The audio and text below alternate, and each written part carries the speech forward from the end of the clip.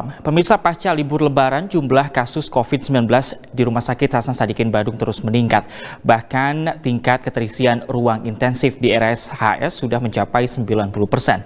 Untuk mengantisipasi semakin meningkatnya kasus kritis COVID-19, pihak RSHS pun berusaha ataupun juga berupaya meningkatkan kapasitas ruangan isolasi biasa hingga menambah monitoring maupun perlengkapan bantuan oksigen.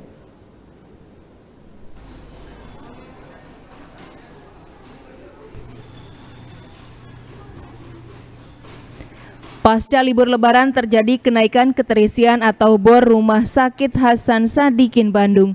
Hingga Selasa 8 Juni 2021, dari 224 tempat tidur yang tersedia untuk pasien COVID-19 sudah terisi 112.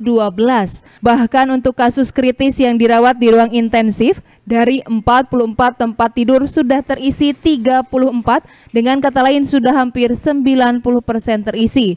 Pihak RSHS pun berupaya mengantisipasi semakin bertambahnya kasus kritis dengan meningkatkan kapasitas ruangan isolasi biasa hingga menambah monitoring maupun perlengkapan bantuan oksigen. Ya, sampai dengan saat ini, eh, sampai dengan pagi ini, bahwa tren bor ini kalau dibandingkan dengan dulu ya sebelum lebaran atau pada saat lebaran ini tetap trennya ada tren kenaikan dari 224 tempat tidur yang tersedia ya itu keterisiannya itu saat ini adalah sampai begini adalah 112 artinya 50 persen bor keseluruhan. Nah, namun e, menjadi perhatian kami adalah e, bor keterisian untuk kasus-kasus yang kritis dan berat. Itu di ruang intensif ya ICU HCU seperti itu.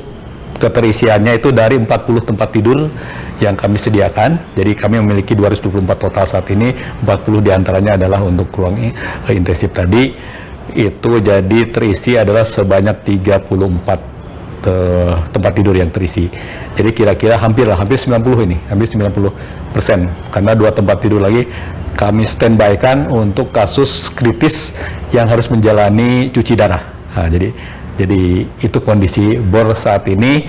Nah, mudah-mudahan ya walaupun kita belum tahu kalau lihat tren dari hariannya ya, kasusnya tetap meningkat ya bukan saja di rumah sakit tapi bisa terlihat di uh, masyarakat kita. Mudah-mudahan tidak berlanjut terus ini.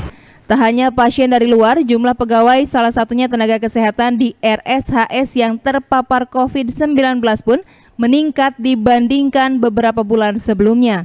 Dalam seminggu di bulan Juni ini sudah ada lebih dari 23 nakes yang terpapar COVID-19.